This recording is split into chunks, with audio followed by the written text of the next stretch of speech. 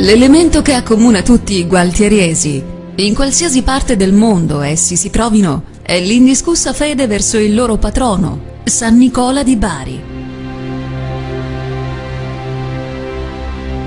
Si tiene ogni anno, l'ultima domenica di agosto, e manifesta una devozione ormai insita nella natura dei suoi fedeli. I fuochi d'artificio rappresentano l'espressione di questa grande devozione e tutto viene fatto in onore del santo.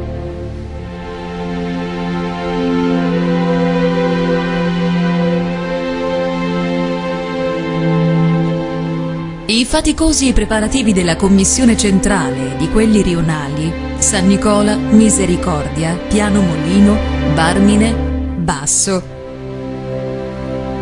La scelta dei fuochisti, gli sforzi economici dei cittadini, dei devoti, degli emigranti.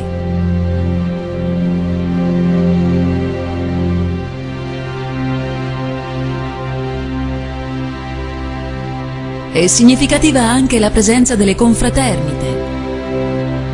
Sacro Cuore di Gesù, Figlie di Maria, San Nicola di Bari. Questo è l'unico modo che abbiamo trovato per spiegare la festa a chi non l'ha mai vista, per spiegare i brividi nel vedere il santo passare a stento tra i vicoli di misericordia, o le lacrime quando sul ponte vecchio solo davanti a migliaia di silenziosi fedeli, ci sovrasta e ci protegge.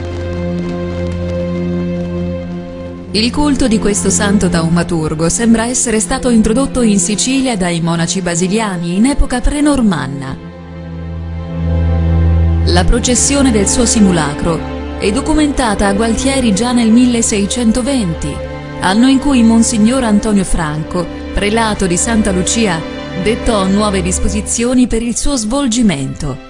È probabile quindi che a quell'epoca fosse già costituita la confraternita di San Nicola di Bari, tuttora esistente.